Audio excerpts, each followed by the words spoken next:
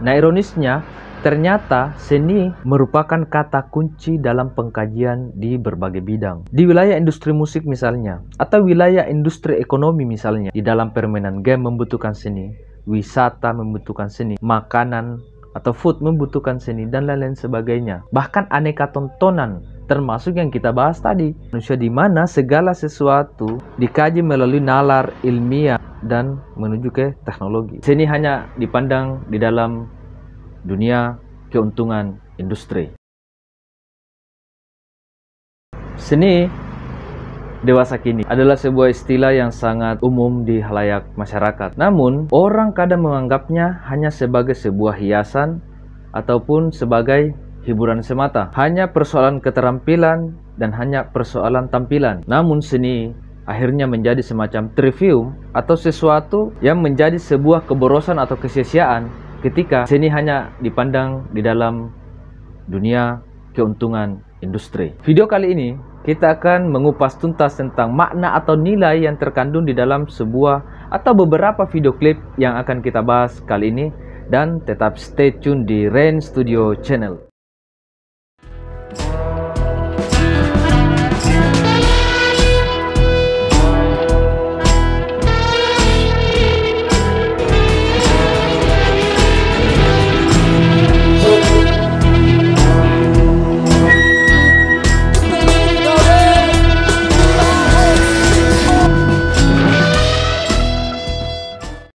Video kali ini kita akan membincang terkait beberapa video klip yang memiliki alur cerita yang sangat luar biasa.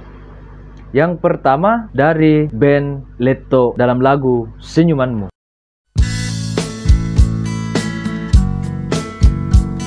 Berwajah lembut katamu kanlah cantikmu yang ku cari.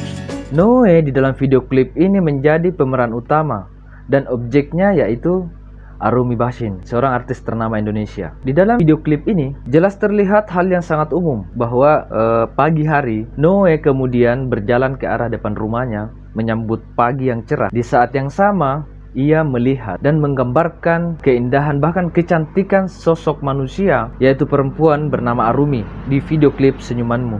Ia betul sangat detail menceritakan tentang sosok perempuan ini dimulai dari indah senyumnya, gerai rambutnya, wajahnya dan segala macam. Di adegan berikutnya akhirnya Noe mengajaknya berkenalan. Setelah berkenalan, ia kemudian menyambung pembahasan-pembahasan terkait siapa dia, si Noe dan siapa si Arumi. Lantas, setelah saat itu, ia kemudian mengajak teman-temannya bertemu satu personil band Leto ini di dalam video klip lagu Senyumanmu ini, ia menceritakan tentang pengalaman tersebut. Nah, sudah ada poin yang kita temukan bagaimana musik atau video klip telah menggambarkan proses kehidupan manusia melalui gambaran tentang karakteristik senyuman atau bentuk pada manusia itu sendiri. Dan rasa kemudian berkecamuk di dalam video klip ini. Ada instrumen senyum ada instrumen pengandaian tentang keindahan itu sendiri. Di luar dari lirik lagu dan musik itu sendiri.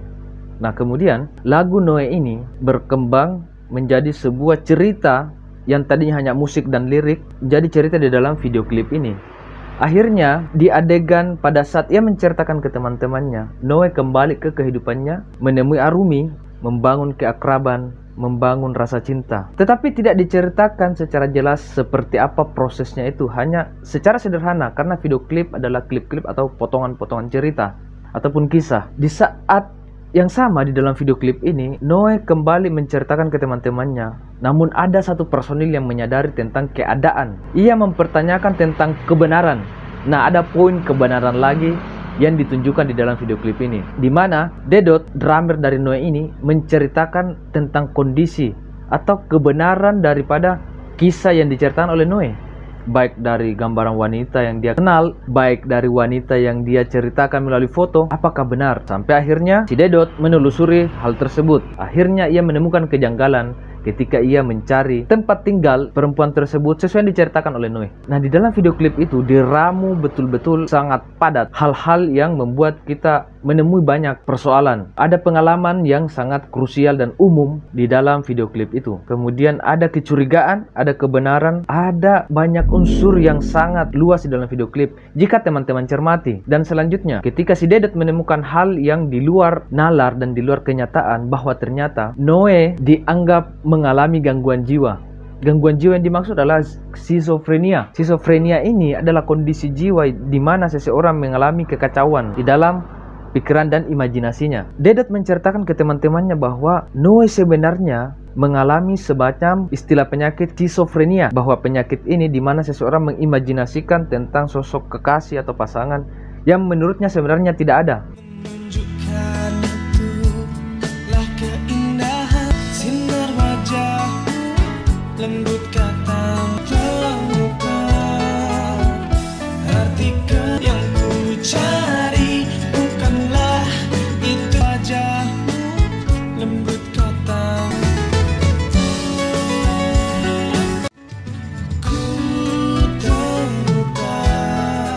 Skizofrenia atau penyakit jiwa yang menurut Dedot dalam video klip ini yang menceritakan bahwa Noe akan mengalami sebuah istilah penyakit atau imaginary girlfriend atau dia memiliki kekasih ilusi Noe sakit jiwa. Teman-temannya lantas tidak langsung percaya. Kemudian datanglah Noe. Ia menceritakan kembali tentang hal apa yang sedang diperbincangkan teman-temannya. Ia mendapati hal tersebut bahwa ia dianggap memiliki gangguan atau sakit jiwa. Nah kemudian di dalam video klip ini diterangkan kembali dengan hadir istilah kultur budaya. Di dalam video klip ini mereka menggunakan bahasa Jawa. Malah dirasani toko ini Lho ngopo ya raine koyo kopet iki? Mulai duat ya. Sing ana fotone. Hmm. Aku mau ngapus-hapus.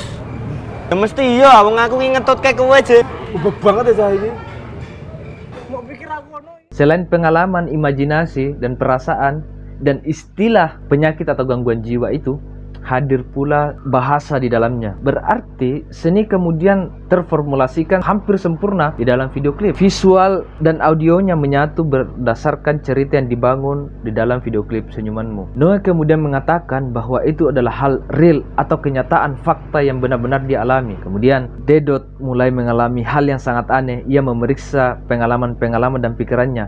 Di klip selanjutnya, Dedet kemudian menceritakan di dalam pikirannya sendiri apa yang sedang terjadi. Ini adalah hal yang sangat jarang disadari oleh manusia bahwa ini adalah konsep membaca diri. Membaca diri apakah memang orang yang saya ceritakan atau, atau Sinoe ini memang betul mengalami gangguan ataukah memang ada yang salah dengan dirinya. Ia menelusuri dan akhirnya menyadari rupanya Dedot lah yang mengalami gangguan jiwa. Dan pada akhirnya dia memakai pakaian yang di awal dipakai oleh Noe tersebut. Apa yang bisa dipetik dari video klip ini? Bahwa alur di awal, tengah, dan ending sangat membuat kita tidak bisa membaca bahwa endingnya Bahkan judul lagunya senyumanmu. Tetapi ada yang menarik bukan senyumanmu Yang sebenarnya diinginkan Tetapi keindahan perilakumu. Demikianlah ramuan di dalam video klip Atau adegan per klip di dalam lagu Senyumanmu dari Leto Band.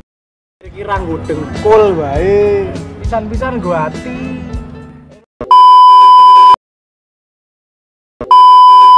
Selanjutnya, kita akan mengupas tentang video klip dari sebuah band yang terkenal di Indonesia yaitu Peter Pan dengan judul lagu Menghapus Jejaknya. Jalan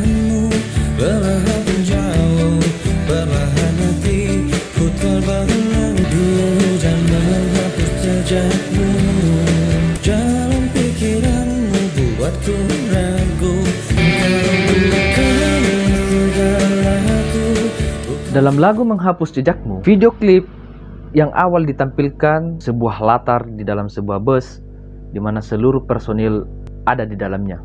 Termasuk model yang dipakai oleh Peter Pan yaitu Dian Sastro. Di awal kita sudah ditunjukkan tentang sosok Ariel sang vokalis yang memperlihatkan pandangannya tentang seisi bus tersebut melalui cermin yang ada di hadapannya. Dia kemudian memperhatikan gerak-gerik dari Dian Sastro tersebut di mana ia berpindah dari satu orang dari personil Peter Pan yang lainnya sembari menyanyikan lagunya. Kemudian Ariel keluar dari bis lantas ia terus berjalan lalu muncullah inti daripada video klip tersebut di mana dalam lagu menghapus jejakmu, Ariel kemudian berjalan, bergerak, dan kemudian diikuti secara hampir sempurna oleh Dian di berbagai latar, bahkan di keramaian. Selain daripada geraknya, video klip ini menampilkan tentang gerak lambat, cepat lambatnya Ariel bergerak, itu sangat disesuaikan oleh Dian di dalam video klip ini. Mungkin tidak banyak yang menyadari bahwa menghapus jejakmu kemudian dihantar oleh video klip yang menceritakan bagaimana jejak-jejak itu kemudian diikuti. Si Dian Sastro ini sebagai sosok perempuan yang terus mengikuti Ariel. Dimulai dari adegan bus sampai keluar di halte bahkan di tempat umum dan di jalan raya. Hampir semua gerakannya kemudian diikuti.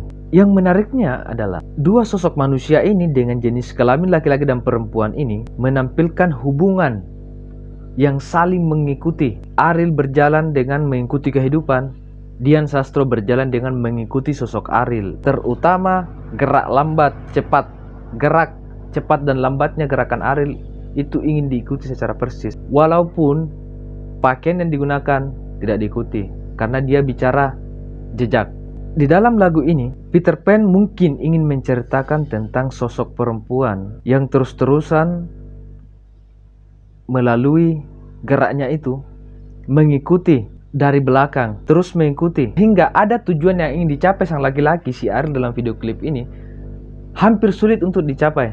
Mungkin teman-teman bisa periksa di lirik lagunya. Terus melangkah melupakanmu lelah hati perhatikan sikapmu. Jalan pikiranmu buatku ragu.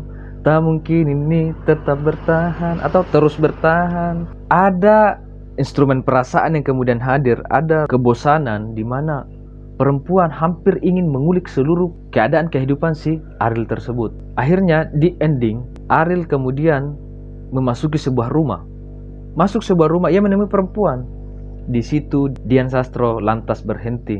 Kemudian membalikkan posisi badannya, duduk di depan halaman rumah. Rupanya Ariel menemui pasangannya. Dan di dalam rumah itu Ariel ternyata menatap Dian dari dalam melihat Dian Sastro yang berada di luar. Tentu kita bertanya, ada beberapa part yang membuat kita bertanya-tanya. Yang pertama di dalam sebuah bus, di mana Ariel memperhatikan Dian menuju ke personil Peter Pan yang lain, dari satu personil ke personil yang lain, dan pada akhirnya ketika Ariel keluar dari bus, Dian Sastro justru mengikutinya. Apakah ini ada semacam cerita bahwa Dian Sastro menyukai banyak lelaki? Ataupun mungkin Dian Sastro ingin mengikuti dan mengenali siapa pun yang kenal atau dekat dengan Ariel. Di tempat umum, Dian terus mengikuti pola geraknya yang dilakukan Ariel pun ia lakukan. Bagaimana kecepatan Ariel, lambat geraknya itu diikuti oleh Dian. Dan pada akhirnya Ariel menemui sosok perempuan. Apakah perempuan sosok Dian ini mengejar Ariel atau memang pacarnya? Atau memang Ariel justru memiliki pacar tapi disukai oleh wanita yang bernama Dian ini atau mungkin ini merupakan alur di mana ia telah bosan dengan pacarnya Ariel bosan dengan Dian, kemudian di dalam perjalanannya Dian tetap mengikutinya, namun ternyata di dalam perjalanan itu Ariel menemukan sosok wanita baru yang ada di dalam rumah itu. Oke,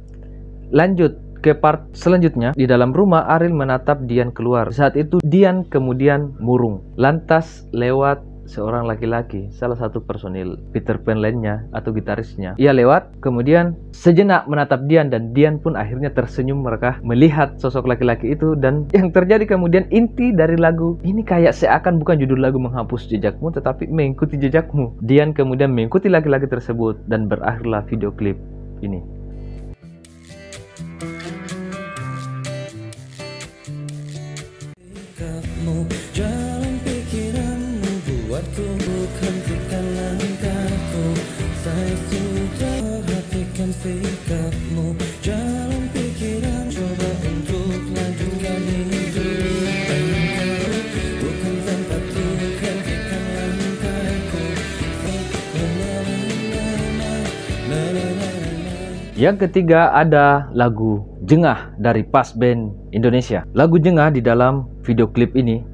adalah sebuah pesan moral yang mesti kita kaji dan pelajari bersama. Di pembahasan ini, saya mengajak teman-teman untuk serius dan fokus. Ini karena lagu Jengah ini adalah suatu istilah yang bahasa Indonesia umum. Jengah mungkin istilah bosan atau jenuh dan segala macam. Di awal video ditunjukkan gerobak bakso yang sedang menjual martabak dan ada sosok anak laki-laki yang hendak membeli, tapi dia punya rasa, rasa ragu, mungkin malu. Namun sang tukang bakso ini mengajaknya dan memanggilnya untuk datang membeli. Dan lagu ini pun dimulai.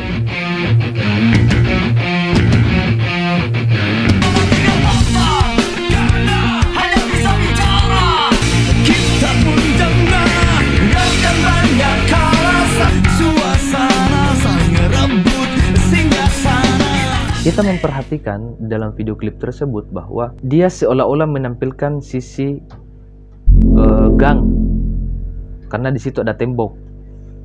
Cerita atau alur video klip dalam lagu Jengah ini ingin menyampaikan tentang keadaan sosial yang sangat umum di Indonesia, di mana kita akan melihat stiker-stiker yang kemudian muncul di adegan selanjutnya, yaitu ada stiker partai dari kertas HVS partai dadakan, terdapat partai tandingan, partai haus, dan segala macam. Pas band kemudian di dalam lagu Jengah ini menceritakan alur cerita. Dari garis besar judulnya yang berjudul Jengah menceritakan ke bawah beberapa narasi-narasi yang ia sampaikan. Lagu ini menyampaikan sebuah ilustrasi kehidupan masyarakat Indonesia di mana ada tukang bakso, ada anak sekolah dan ada tempelan pamflet mungkin ya yang ada di tembok tetapi tertulis partai, baik itu partai haus, miskin, dadakan, tandingan, jujur, dan lain-lain di dalam video klip ini. Lagu Jengah ini dimulai dari part cerita masyarakat Indonesia yang anehnya adalah ia menampilkan sosok tukang bakso dan si anak kecil.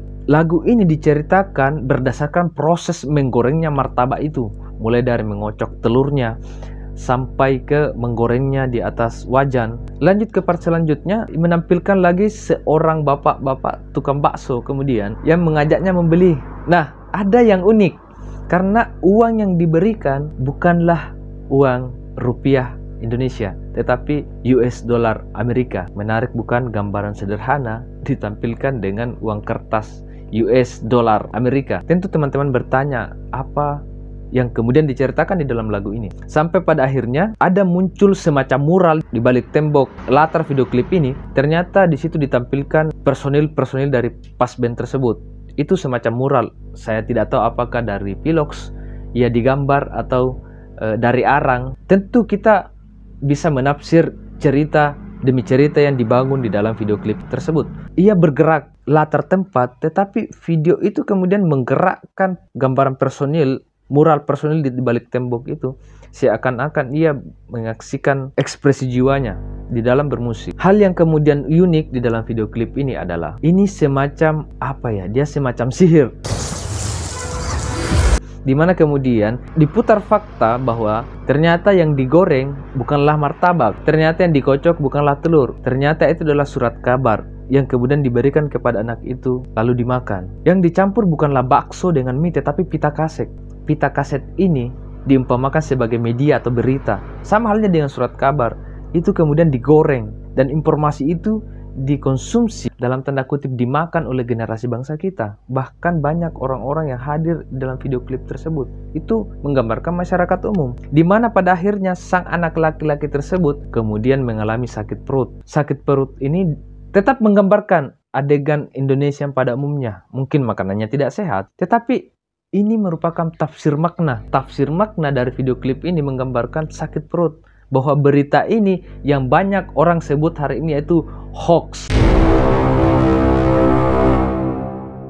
Lagu Jengah ingin menggambarkan tentang Indonesia yang banyak dibubuhi dengan media berita yang digoreng, dikalkulasi menjadi sebuah informasi yang dapat sebenarnya membuat penyakit untuk masyarakat apalagi untuk generasi. Martabak tadi menggambarkan tentang media berita pada surat kabar. Mie dan bakso tadi atau mie menggambarkan tentang pita kaset atau media audio yang disampaikan oleh pemerintah atau penguasa. Jadi video klip jengah ini adalah kebosanan atau kelelahan masyarakat Indonesia tentang janji dan media yang dikeluarkan oleh pemerintah atau bahkan penguasa di negeri ini. Ada uh, ramuan yang sangat khas di dalam video klip jengah ini karena pada akhirnya personil-personil yang tergambarkan lewat mural di tembok itu menarik anak tersebut dan mengajaknya. Di situlah tampil kemudian pamflet-pamflet yang tadi, partai dadakan, partai haus, partai tandingan, partai miskin, bahkan ada partai jujur. Ya saya tidak tahu jengah ini ingin menggambarkan apa bahwa partai ini adalah pengejauhan tahan dari apa yang sebenarnya mereka sedang lakukan dari jujur,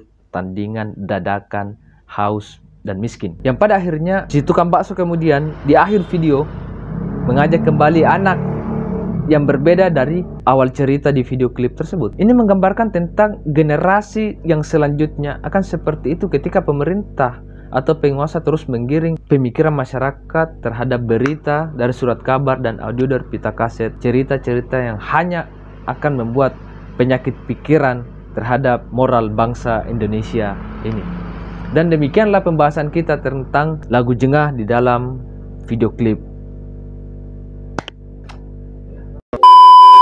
Dan demikianlah pembahasan kita terkait video dari Pas Band Indonesia dalam lagu Jengah.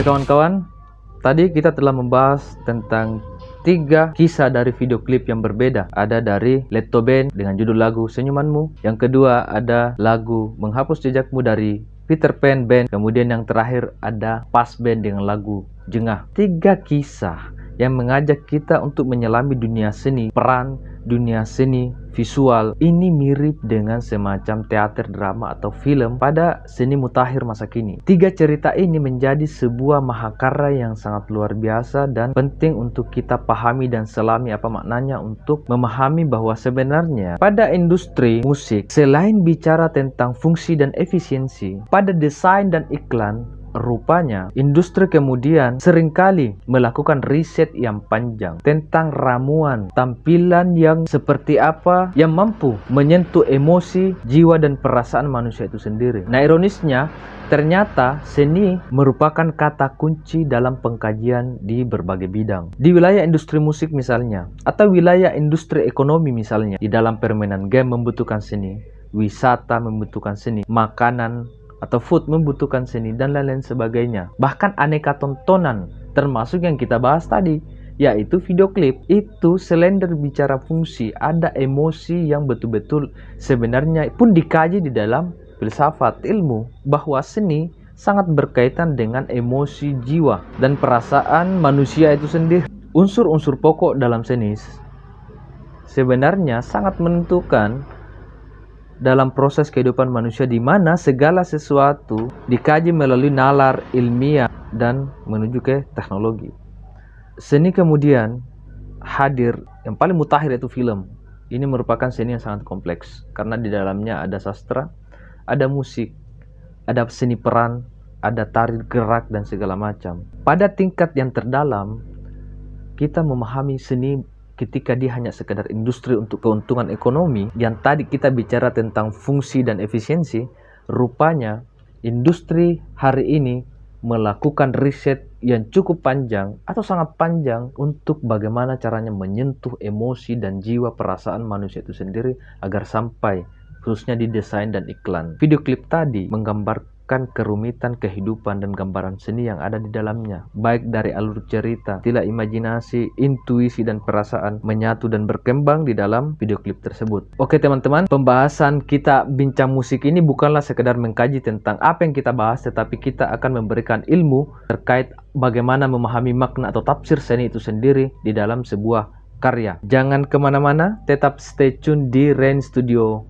channel YouTube. Sampai jumpa di video selanjutnya karena kita akan tetap membahas beberapa hal yang berkaitan dengan seni dan musik. Jangan lupa like, share, atau komen, bahkan subscribe channel Rain Studio. Dan sampai jumpa.